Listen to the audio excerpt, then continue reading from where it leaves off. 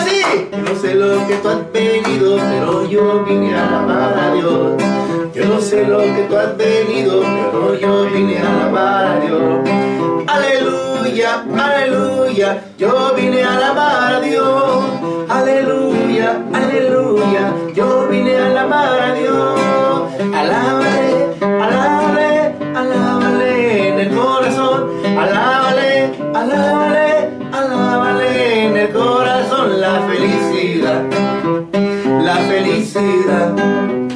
la felicidad. La la felicidad, la felicidad. La felicidad consiste en alabar a Dios. ¿En qué consiste la felicidad? No en el dinero. ¿En qué consiste la felicidad? No en el poder. ¿En qué consiste la felicidad? Consiste en alabar. Aleluya, aleluya. Yo vine a alabar a Dios. Aleluya, aleluya. Yo vine a alabar a Dios. ¿Cómo estás, Juanjo? Bienvenido. Bien, Fito, feliz y contento de estar aquí en este su programa Misión Católica. Ramiro, ¿cómo estás? Bienvenido. Bien, bien, bendito sea Dios. Un poco enfermo el muchacho, por eso lo ven despeinadito. Pero, pero sí, se, sí se peina, ¿eh, amigos, no se preocupen. Nomás ahora está despeinadito porque anda un poco enfermo. Regresa con nosotros, él ya cambia- ah, está con nosotros, nos ayuda un poquito a, la- a hacer más ambiente para todos ustedes.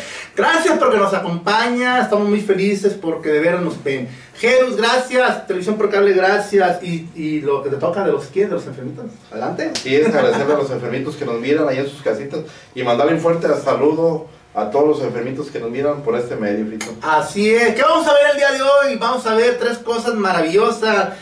Eh, nos hemos dado la oportunidad ahorita de salir fuera mucho, Juanjo, y estuvimos en Acatic, en sus fiestas, el pasado 2 de febrero, el Día de la Candelaria, y también aquí en Tepatitlán, el 5 de febrero, también se llevó a cabo lo que fue de San Felipe de Jesús, también por tenemos algo, y también tendremos la sección con Rosendo, que me gustó mucho la semana pasada, Vamos a tratar de hacerle así algo dinámico, ameno para todos ustedes. Pues vámonos porque el tiempo apremia, el tiempo se nos va rápido, Juanjo. Vamos empezando con que tú eliges. Vamos viéndolo las fiestas de Acatí. Perfecto. Me encanta lo de la Candelaria. Vamos a verlo y regresamos con ustedes. Y dice, échale Ramiro. Yo no sé lo que tú has venido, pero yo vine a alabar a Dios. Yo no sé lo que tú has venido, pero yo vine a alabar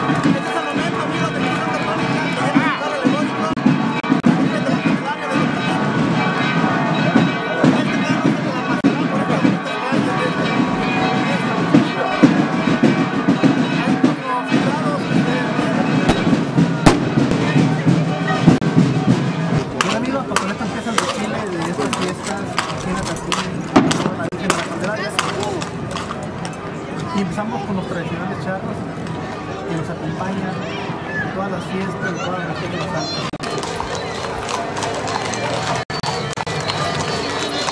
Pues, la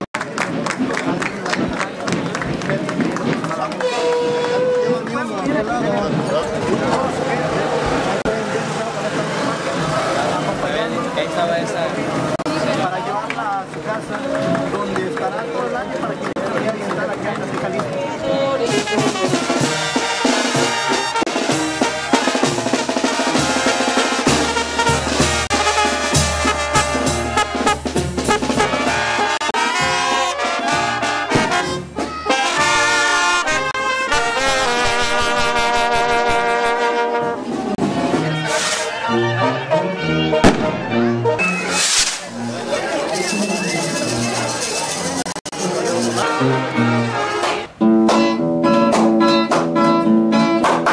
mano está llena de su bendición, mi mano está llena de su bendición. Al hermano que toque bendito será, al hermano que toque bendito será, mi mano está llena de su bendición. ¿Por qué? Porque Cristo ha tomado mi vida y no la quiere soltar.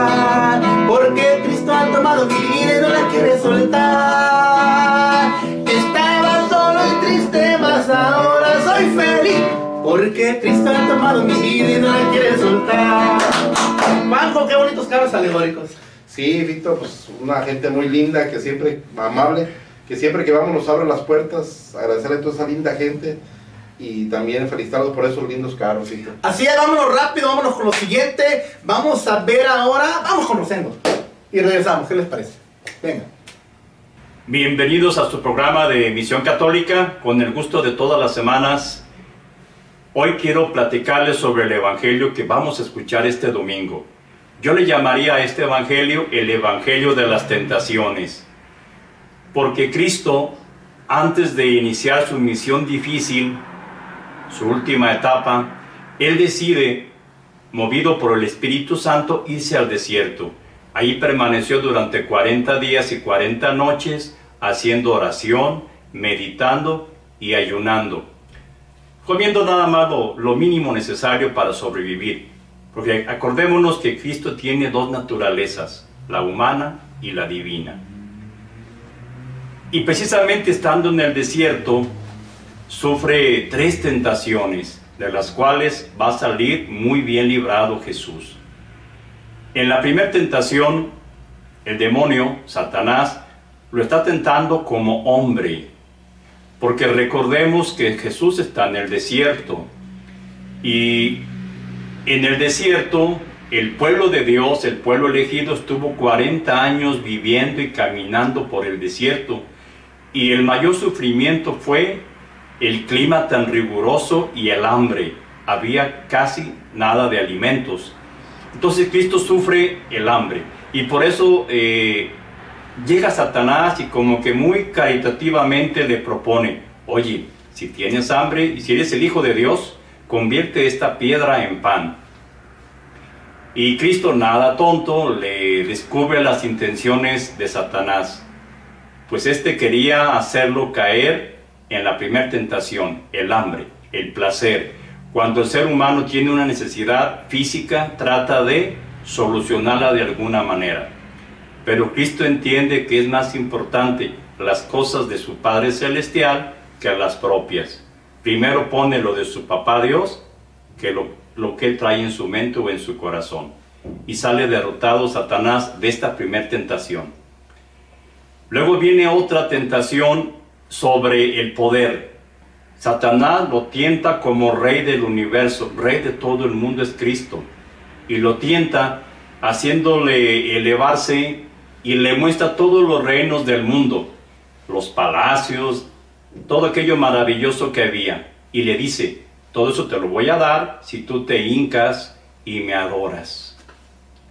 Obviamente que Cristo pues es el Hijo de Dios, es Dios mismo, no podía aceptar eso.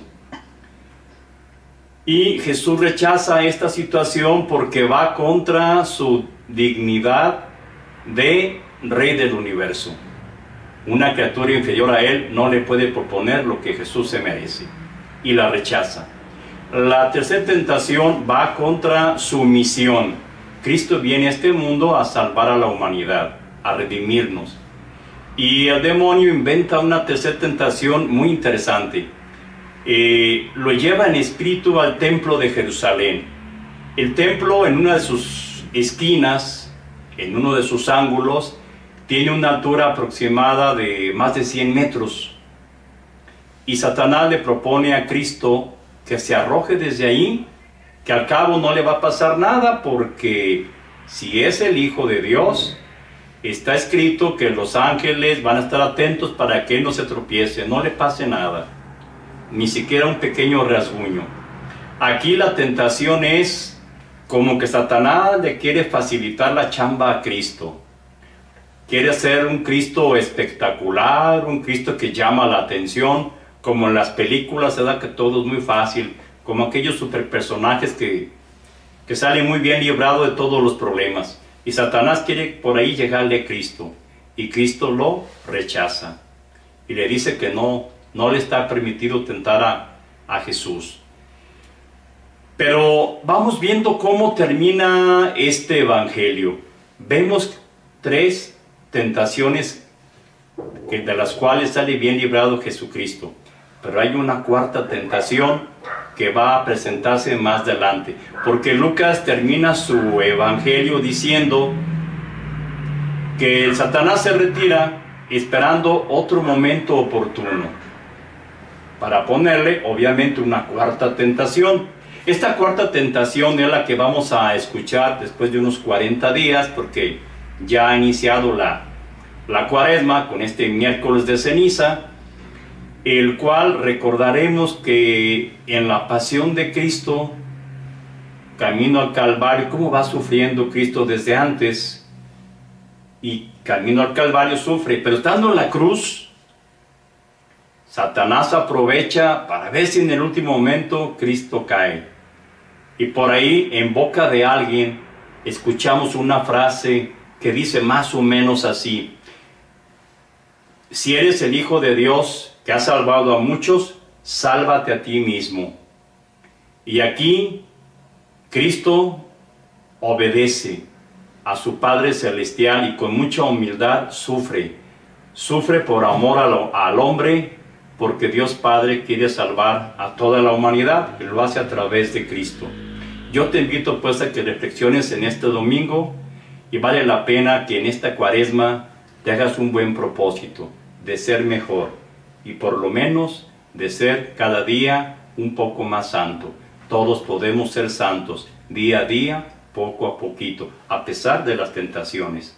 Te espero pues la próxima semana y que Dios los bendiga.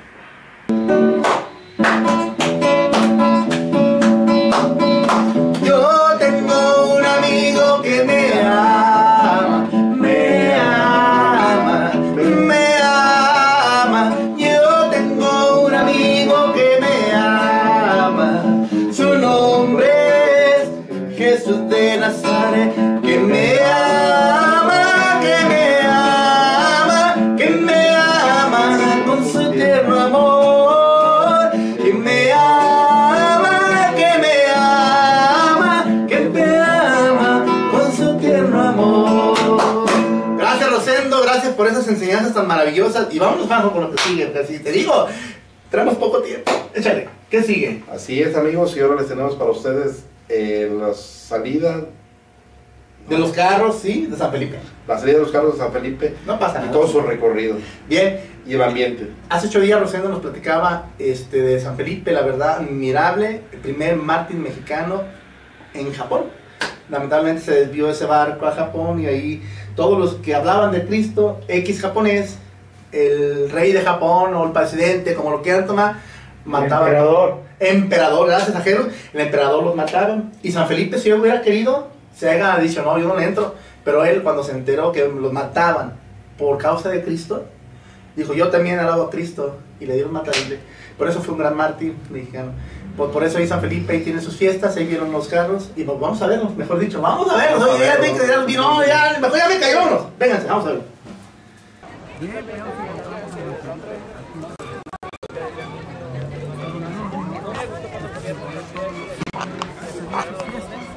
en honor a este gran santo.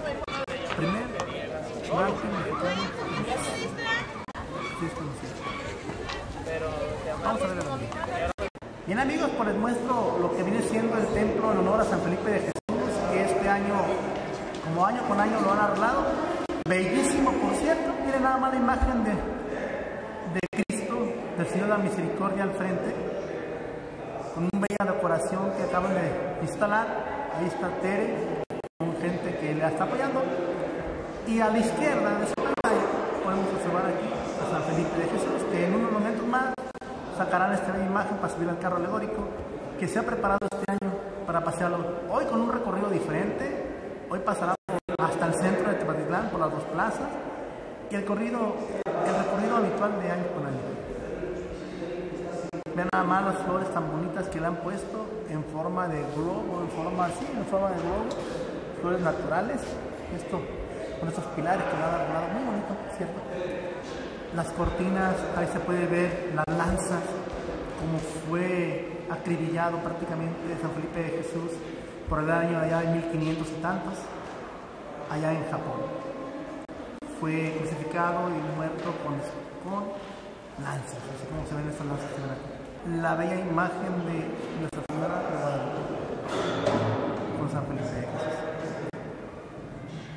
Pues vamos a ver este momento en donde sacan la imagen para que usted lo aprecie y disfrute. Y el, la llegada a su carro.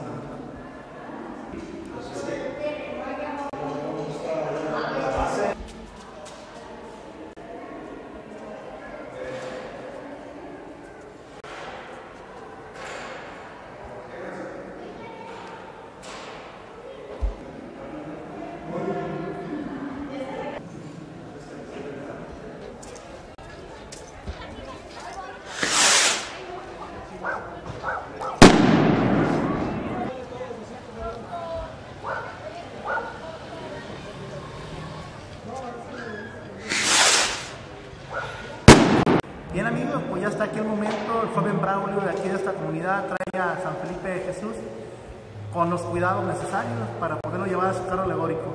Todo está listo para salir a las calles de Tepatitlán a dar esas bendiciones que la gente espera. Aquí viene el joven acompañándonos con esta bella imagen.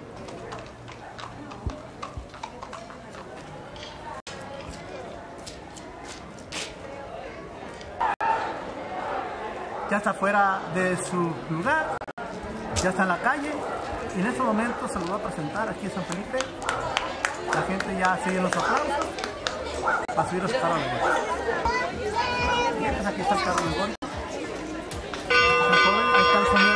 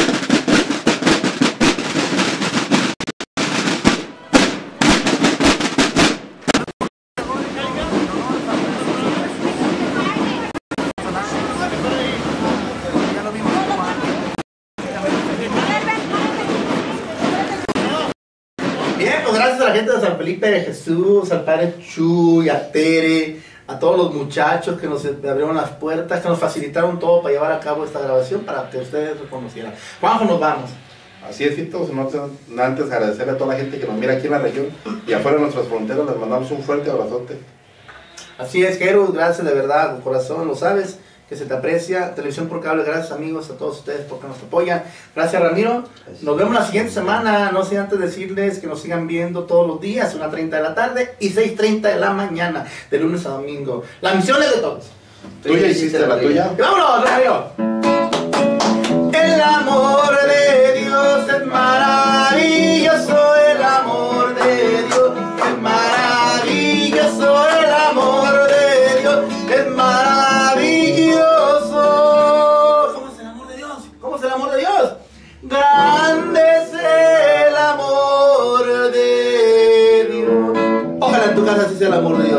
siguiente semana. Gracias, cuídense.